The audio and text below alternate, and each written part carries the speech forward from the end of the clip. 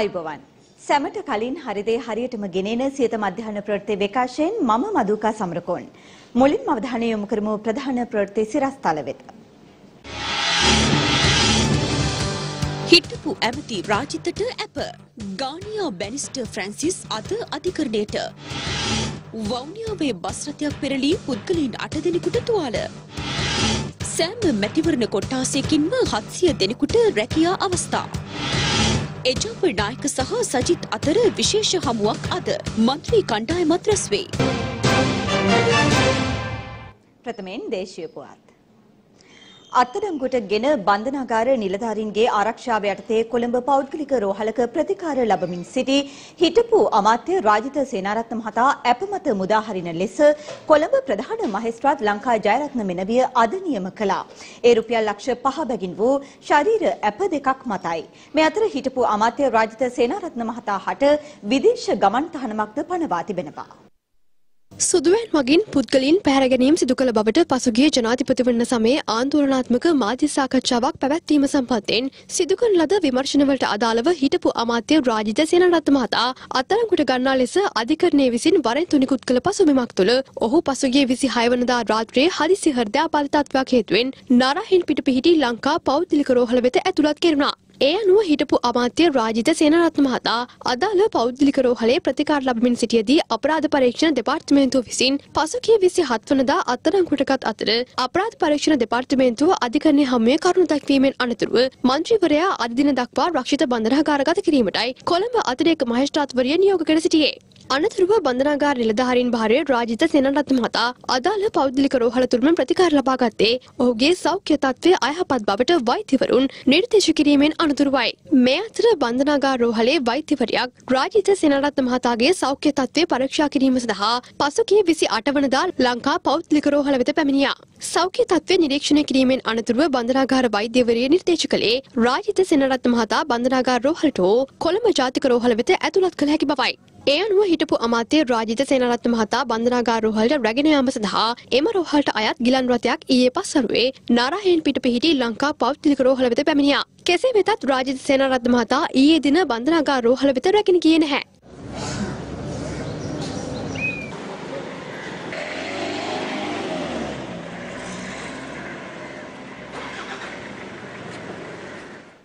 මේ අතර හිටපු අමාත්‍ය රාජිත සෙනරත්න මහතා සිය නීතිඥවරුන් මාර්ගයෙන් අධිකරණ හමුවේ පසුගිය විසි තුන්වනදා ගොනු කළ අපේක්ෂිත ඇප අයදුම්පත කොළඹ මහේස්ත්‍රාත් අධිකරණය හමුවේ අද විමසා බැලුණා. ඒ අනුව අද දින දක්වා රක්ෂිත බන්ධනාගාර ගත කළ සිටි හිටපු අමාත්‍ය රාජිත සෙනරත්න මහතා ඇප මත මුදාහරින ලෙසයි කොළඹ ප්‍රධාන මහේස්ත්‍රාත් ලංකා ජයරත්න මෙනවිය නියෝග කර සිටියේ. ඒ අනුව සැකකාර රාජිත සේනරත්න මහතා රුපියල් ලක්ෂ පහක ශරීර ඇප දෙකක් මත මුදාහැරීමට නියම කළ මහේස්ත්‍රාත්වරිය සැකකරුගේ විදේශ ගමන් තහනම් කිරීමටද නියම කළා. එමෙන්ම ඔහුගේ විදේශ ගමන් බලපත්‍රය අධිකරණයට බාර දිය යුතු බවටද ඇප නියෝගය සඳහන් කළා. කොන්දේසි සපුරාලීමෙන් පසුව රෝහල්ගතව ප්‍රතිකාර ලබන රාජිත සෙනරත්න මහතා මුදාහන් ලෙස නියම කළ මහේස්ත්‍රාත්වරිය රෝහලින් නික්මයාමෙන් පසුව රහස් පොලිසිය වෙත ගොස් ප්‍රකාශයක් ලබා දෙන ලෙසයි සැකකාරු රාජිත සේනරත්න මහතාට නියම කර සිටියේ. ඇප නියෝගය ප්‍රකාශයට පත් කරමින් ප්‍රධාන මහේස්ත්‍රාත්වරිය සඳහන් කළේ මෙම නඩුවට සැකකාර රාජිත සේනරත්න මහතා සම්බන්ධ කර තිබෙන ආකාරය අවිධිමත් මෙන්ම දෝෂ සහගත බවයි. ඒ අනුව ඔහුට එල්ල කර තිබෙන චෝදනා ඇප පනත යටතේ ඇප ලබා දිය හැකි වැරදි හේයින්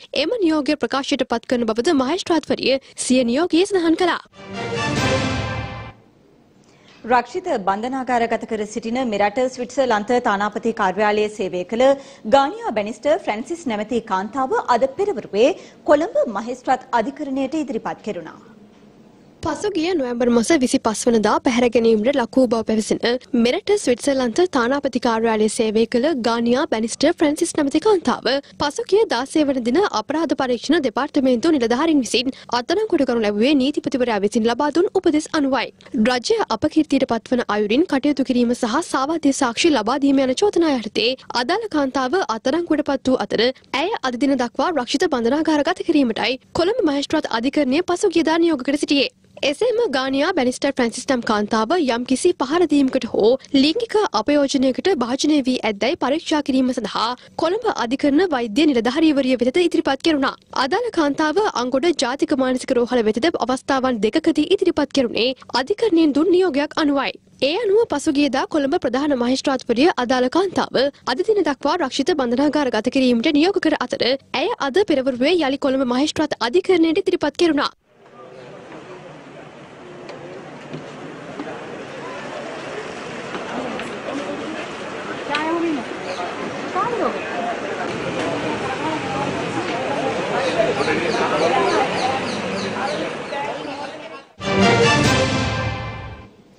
වවුනියාව කඳුරුපිටිය ප්‍රදේශයේදී පෞද්ගලික බස් රථයක් පෙරළී යමින් පුද්ගලයන් අට දෙනෙකු බරපතල තුවාල ලබා වවුනියාව රෝහලට ඇතුළත් කර තිබෙනවා. බස් රථයේ සිදු වූ කාර්මික දෝෂයක් හේතුවෙන් මෙම අනුතර සිදු වී ඇති බවයි පොලිසිය පවසන්නේ.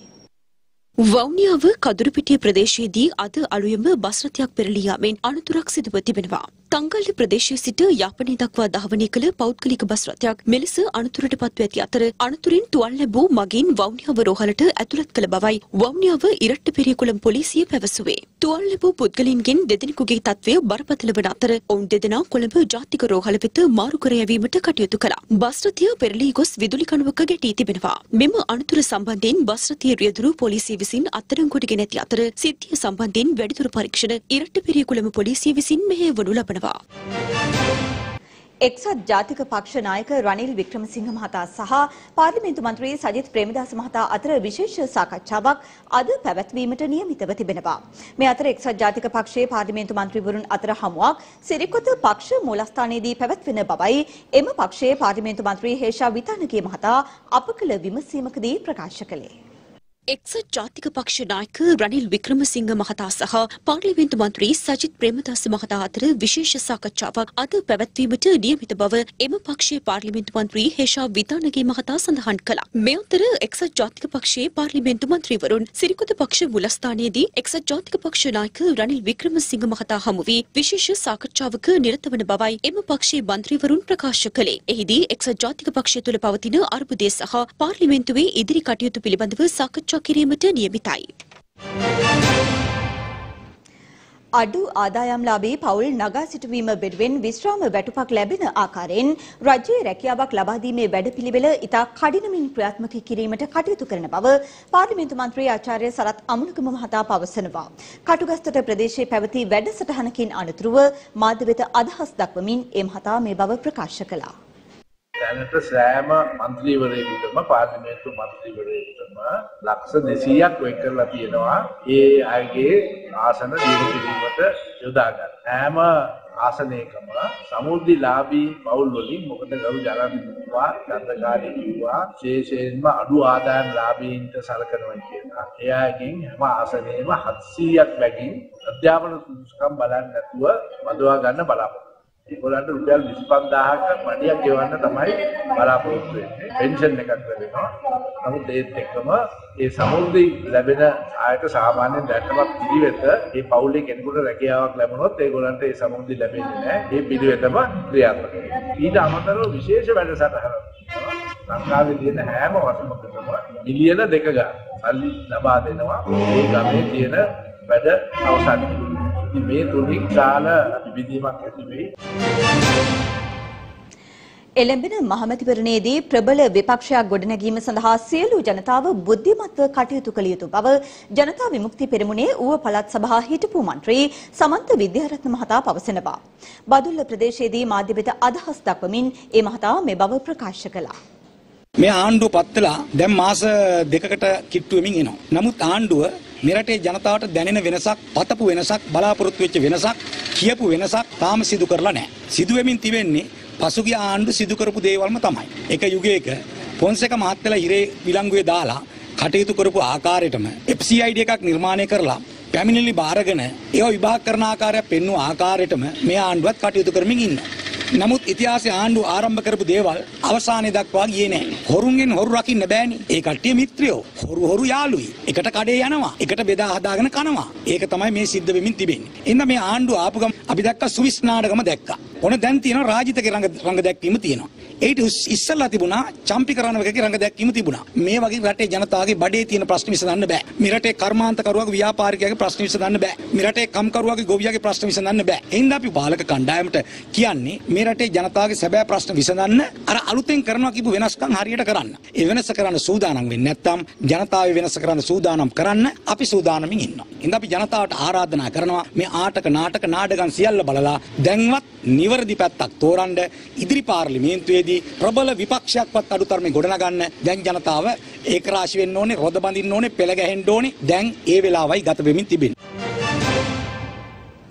දහ නවවන ව්‍යවස්ථාව බල රහිත කර දහ අටවන ව්‍යවස්ථාව නැවත බලාත්මක කිරීමට රජය පියවර ගනිමින් සිටින බව එක්සත් ජාතික පක්ෂ පාර්ලිමේන්තු මන්ත්‍රී චන්ද්‍රානි බණ්ඩාර මහත්මිය පවසනවා. මන්ත්‍රීවරිය මෙම අදහස් පළ කළේ අනුරාධපුර ප්‍රදේශයේ පැවති ජන හමුවකදී. තමුන්නාසෙලා අපි කවුරුත් දන්නවා. අද වෙනකොට පොහොර ටික අරගන්න විදියක් නැහැ. නොමිලේ පොහොර දෙනවා කියලා කිව්වේ. නමුත් අද ඒ පොහොර හොයාගන්නවත් යූරියා ටික හොයාගන්නවත් බැරි තත්ත්වයක් ඇවිල්ලා තියෙන්නේ. මේවා අපි වේදිකාවේ කියනකොට මේ සියලු දේවල් සුරංගනා කතා කියලා කියනකොට මේවා ජනතාව බහුතරයක් පිළිගත්තේ නැහැ. ඒ පිළිගන්නේ නැතුව මහින්ද රාජපක්ෂ ඇතුළු ඒ රාජපක්ෂ කණ්ඩායම කරන ඒ සංදර්ශන වලට හැමදාම රැවටෙනවා වගේ අපේ රටේ ජනතාව මේ වතාවෙත් රැවටුණා. නැවත මේ 18 වෙනි ව්‍යවස්ථාව අරගෙන එන්නයි උත්සාහ ගන්න ගන්නේ තුනෙන් දෙකේ බලයක් අරගෙන මේ 19 අයින් කරලා නැවත 18 වෙනි ව්‍යවස්ථා සංශෝධනය ගේනවා කියන්නේ මේ රටේ අපි නොහිතන තාම භයානක තත්ත්වයක් උදා වෙනවා කියන එක අපි පාර්ලිමේන්තුවේ කටයුතු කරනවා නම් ප්‍රබල විපක්ෂයක් හැටියට වැඩි ආසන ප්‍රමාණයක් එක්ක ඒ බලය තුල අපි කටයුතු කරන්න අපිට ලැබෙනවා නම් ඒ අයට ඒ අය බලාපොරොත්තු වෙන දේවල් කරන්න අවස්ථාවක් උදා වෙන්නේ නැහැ. ඒ නිසා මේ පාර්ලිමේන්තු මැතිවරණය ඉවර වෙනකන් මේගොල්ලෝ ජනතාවගේ ඔළුව අතගායි විවිධ තව සුරංගනා කතා කියයි බලාපොරොත්තු දෙයි ඒ දේවල් දීලා ඒ මැතිවරණය ජයග්‍රහණය කරාට පස්සේ කොයි වගේ මුහුණුවරකින්ද වැඩ කරන්න කියන එක තමුන්නාසලට බලා ගන්න පුළුවන් වෙයි. කුලියාපිටිය කිතලව ගම්මානයට නිරන්තරයෙන් පැමිණෙන රිලව් රංචුවක් හේතුවෙන් ගම්වාසීන් දැඩි පීඩාවට පත් වී තිබෙනවා. මේ පිළිබඳව බලධාරීන් කොතෙකුත් දැනුවත් කළද ඊට නිසි විසඳුමක් නොලැබීම හේතුවෙන් ගම්වාසීන් ඊයේ දින විරෝධතාවයක නිරත වුණා. කොලියාපිටිය කිතලව ප්‍රදේශයේ පදිංචි ගම්මාන 20ක ජනතාව බරිගොඩ රක්ෂිතයෙන් පැමිණෙන 400කින් පමණ සමන්විත රිලා රංචුවක් හේතුවෙන් දැඩි ලෙස පීඩාවට පත්ව සිටිනවා. මේ සම්බන්ධයෙන් බලධාරීන් දැනුවත් කළද ඊට නිසි විසඳුමක් නොලැබීම හේතුවෙන් ගම්මාන රැසක ජනතාව එක්ව ඊයේ දින සාමකාමී විරෝධතාවයක නිරත වුණා. කිතලව උණලිය මන්සන්දියේ පැයක් පුරා කාලයක් මෙම විරෝධතාවය පැවැත්වුණා. තම දෛනික කටයුතු වලට මෙම සතුන් දැඩි බලපෑමක් එල්ල කරන බවයි ප්‍රදේශවාසීන් පවසන්නේ. කෙසේ වෙතත් මෙයට පිළියමක් ලෙස මෙම සතුන් වනජීවී කලාපවලට හෝ රක්ෂිතවලට මුදා හැරීමට කටයුතු කරන ලෙසයි ගම්වාසීන් අදාළ බලධාරීන්ගෙන් ඉල්ලා සිටින්නේ. මේ රිලා සතාගෙන් ඇති වෙලා තියෙන උවදුර ඉතා බැරෑරුම් අපි බලධාරීන්ගෙන් බලාපොරොත්තු වෙන්නේ මේ සඳහා අපිට පිළිතුරක් සොයලා දෙන විදියට. ගෙවල් වහලා කොහෙවත් යන්න විදියක් නැහැ. කෑම අරන් තියන්න දෙන්න. පිට එළියට පහන්න දැන් වීතම්බලගේ දාලාවත් ඔක්කොම කාලේ ඉවරයි. මේ සත්තු පළවා හරින්න එක්ක ගෙනියන්න. ගෑනු අයට නම් බයම නැහැ. දැන් පොඩි ළමයෙක් නිදි කරන්න අම්මා කෙනෙකුට ඇත්තටම බයයි. ඒ ළමයිට සෙල්ලම් කරන්න නිදහසේ බෑ. මේ කරදරය තුරන් කරන්න රජයේ ඒ බලධාරීන් අවධානය යොමු කරන්න ඕන කියලා අපි සියලු දෙනාම ඉතා කරුණාවෙන් ඉල්ලා සිටිනවා. අපට හැමදාම රිලවුන්ගෙන් කරදරයි. අම්මා උයලා තියෙන වත්මුට්ටිය ඉස්කෝලේ එනකොට අපිට කණ්ඩ නැහැ අපිට රිලවුන්ගෙන් හරිම කරදරයි අපේ පොත්පත් හිටන් රිලව් ඉරලා දානවා ඇඳුම් එහෙම රිලව් ඇදලා දානවා ඇඳුම් එහෙම තේක ගස් උඩ ජේෂ්ඨත්වය අනුව සහ පැවති සම්මුඛ පරීක්ෂණ ලකුණු අනුව ජේෂ්ඨ පොලිස් අධිකාරිවරුන් 11 දෙනෙකු නියෝජ්‍ය පොලිස්පති තනතුරට උසස් කර තිබෙනවා. එලෙස ජේෂ්ඨත්වය අනුව සහ පැවති සම්මුඛ පරීක්ෂණවල ලකුණු අනුව නියෝජ්‍ය පොලිස්පති තනතුරට උසස් කළ ජේෂ්ඨ පොලිස් අධිකාරීවරුන් අතරින් අට දෙනෙකු පසුගිය නොවැම්බර් මාස 30 වනදා සිට බලපැවැත්වෙන පරිදි නියෝජ්‍ය පොලිස්පති තනතුරට උසස් කර තිබෙන අතර ජනවාරි මාස 5 වනදා සිට බලපැවැත්වෙන පරිදි තවත් තිදෙනෙකු නියෝජ්‍ය පොලිස්පති තනතුරට උසස් කර තිබෙනවා. ඒ අනුව ජනවාරි මාස 5 වනදා සිට බලපැවැත්වෙන ලෙස නියෝජ්‍ය පොලිස්පති තනතුරට උසස් කර ඇත්තේ ජේෂ්ඨ පොලිස් අධිකාරී APJ චන්ද්‍රකුමාර මහතා ජේෂ්ඨ පොලිස් අධිකාරී AKC අතුකෝරාල මහතා සහ ජේෂ්ඨ පොලිස් අධිකාරී WPN සිල්වා යන මහත්වරුන්. මේ අතර පසුගිය නොවැම්බර් මස 30 වනදා සිට බලපැවැත්වෙන ලෙස නියෝජ්‍ය පොලිස්පති තනතුරට උසස් කර ඇත්තේ ජ්‍යෙෂ්ඨ පොලිස් අධිකාරී මොදිත පුස් ඇල්ල, ජ්‍යෙෂ්ඨ පොලිස් අධිකාරී ප්‍රියන්ත චන්ද්‍රසිරි, ජ්‍යෙෂ්ඨ පොලිස් අධිකාරී HNKD විජය, ජ්‍යෙෂ්ඨ පොලිස් අධිකාරී NLK නානායක්කාර, ජ්‍යෙෂ්ඨ පොලිස් අධිකාරී K කඩුපිටිය, ජ්‍යෙෂ්ඨ පොලිස් අධිකාරී GANL විජයසේන, ජ්‍යෙෂ්ඨ පොලිස් අධිකාරී ලයනල් ගුණතිලක යන මහත්වරුන්. දුම්රිය ආරක්ෂක සේවය සඳහා නව නිලධාරීන් එකසි අසූ දෙනෙක් බඳවා ගැනීමට දුම්රිය දෙපාර්තමේන්තුව පියවර ගෙන තිබෙනවා. දුම්රිය ආරක්ෂක සේවය සඳහා නව නිලධාරීන් එකසි අසූ දෙනෙකු බඳවා ගැනීමට පියවර ගෙන තිබෙනවා. දුම්රිය සේවා රාජ්‍ය අමාත්‍ය සීබී රත්නායක මහතාගෙන් අප කළ විමසීමකදී ඒ මහතා සඳහන් කළේ මෙම බඳවා ගැනීම ඊයේ දිනේ පැවති ලිඛිත විභාගයේ විභාගයට පෙනී සිට ඇති අපේක්ෂකින් සංඛ්‍යාව දහ නවදහසකට ආසන්නයි. මේ වන විට දුම්රිය ආරක්ෂක සේවයේ පුරප්පාඩු දෙසිය පනස් තුනක් පවතින බව දුම්රිය දෙපාර්තමේන්තුව සඳහන් කළා. ඉදිරි මහමැතිවරණය සඳහා තමන් ශ්‍රී ලංකා පොදුජන පෙරමුණෙන් තරඟ වැදීමට සූදානම් බව ශ්‍රී ලංකා හිටපු ක්‍රිකට් ක්‍රීඩක ටීඑම් ඩිල්ෂන් මහතා පවසනවා. ඒ කළුතර ප්‍රදේශයේදී මාධ්‍ය වෙත අදහස් පළ කරමින්. ජනපැතුමත් එක මීට පෙර මං හම්බුණා අගමැතුමා තම්මන ඉතින් ඒ දෙපළගේම ආශිර්වාදයක් තියෙනවා ඉතිරි එන මැතිවරණයට ඉදිරිපත් වෙන්න කියලා. ඉතින් මේ වෙනකොට සූදානම්මින් පවතිනවා ඉතිරි මැතිවරණයේදී පොහොට්ටුවෙන් තරම් කළා. අධිකරු ජනාධිපතිතුමාට තවත් තරුණ ශක්තියක් වෙන්න තමයි මම බලාපොරොත්තු. ඉතින් මේ වෙනකොට වැඩ කටයුතු ආරම්භ කරමින් පවතිනවා. ගාල්ල දිස්ත්‍රික්කයේ තරම් කරන්න කියලා තමයි ලැබිලා තියෙන ආරංචිය. ඉතින් කොහෙන් ලැබුණත් මගේ උපරිම සහයෝගය ආතර ජනතාව වෙනුවෙන් මම කැප කරලා මම ක්‍රිකට් ක්‍රීඩාවේ අවුරුදු 20ක් වෙන රට වෙනුවෙන් ක්‍රීඩා කරා. සේවය කරා. ඒ සේවයෙන් පස්සේ රට වෙනුවෙන් මගේ ආදරණීය ජනතාව වෙනුවෙන් නැවතත් සේවය කරන්නට අවස්ථාවක් ලැබිලා තියෙනවා. ඉතින් ඒ අවස්ථාව ලැබිලා තියෙන්නේ අතිගරු ජනාධිපතිතුමා ගෝඨාභය රාජපක්ෂ මැතිතුමාගේ ආශිර්වාදයත් අගමැතිතුමාගේ ආශිර්වාදයත් සමග ඉතින් මම හිතනවා මට ඒ දෙපළගේ ආශිර්වාදයත් එක්ක දීර්ඝ ගමනක් ක්‍රිකට් ක්‍රීඩාව වගේම දේශපාලනයෙන් යන්න පුළුවන් වෙයි කියලා ලොකු විශ්වාසයක් තියෙනවා. දැන් අවධානය රට වටා පුවත් කිහිපයක් වෙතයි. මාතලේ උකුවෙල ගුරලවෙල ප්‍රදේශයේ වෙල්යායක ඕරන්ට ඇද තිබූ විදුලි රැහැනක පැටලී එකම පවුලේ මව පියා සහ දියණිය ඊයේ රාත්‍රියේ මිය ගොස් තිබෙනවා. දළදා කරඬුව වැඩමවීමට වරම් ලද අලියතුන් අතරින් ජ්‍යෙෂ්ඨතම හස්ති රාජයා වන නැදුම්ගමුවේ රාජාගේ රූපය සහිත මුද්දරයක් අද නිකුත් කර තිබෙනවා. භගවන්තලාව පොලිස් වසමට අයත් ටින්සින් තේවත්තේ කොටසක් වෙළඳ සැල් හිමියන් පිරිසක් විසින් අත්පත් කරගෙන ඉදිකරමින් තිබූ වෙළඳ සැල් හතක වැඩ කටයුතු නතර කර දැමීමට භගවන්තලාව පොලිසිය කටයුතු කර තිබෙනවා. බස්නහිර පළාත් ආණ්ඩුකාර වෛද්‍ය සීතා අඹේපොළ මහත්මිය ඊයේ බත්තර මුල්ල නගරය අවට හදිසි නිරීක්ෂණ චාරිකාවක නිරත වුණා. ඒ ඩෙන්සිල් කොබ්බෑකඩුව මාවතේ පිහිටා ඇති කිසිදු නඩත්තුවක් නොමැතිව අබලන් තත්වයට පත්ව ඇති උද්‍යානයක් පිළිබඳව සොයා බැලීමටයි. එහිදී උද්‍යානය නැවත හැකි ඉක්මනින් නිසි වැඩපිළිවෙලක් යටතේ සකස් කරන ලෙස ආණ්ඩුකාරවරිය උපදෙස් ලබා දී තිබෙනවා. එම පුවතත් සමගින් සියත මධ්‍යහන ප්‍රවෘත්ති විකාශය නිමාවට පත්වනවා. තවත් උණුසුම් පුවත් දැනගැනීම සඳහා පිවිසෙන්න www.siyathanews.lk අපගේ වෙබ් අඩවිය වෙත. අප නැවතත් හමුවන්නේ සවස් 6 අපගේ ප්‍රධාන ප්‍රවෘත්ති විකාශයත් සමගින්. සුබ දවසක්.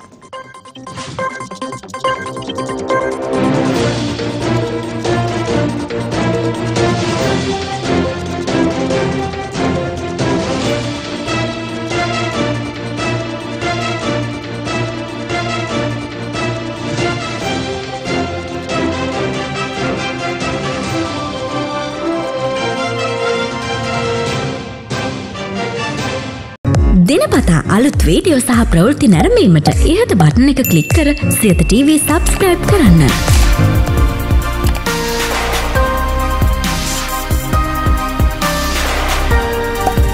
අලුත් වීඩියෝ ගැන මුලින්ම දැනගන්න මෙම සීනුව ක්ලික් කරන්න.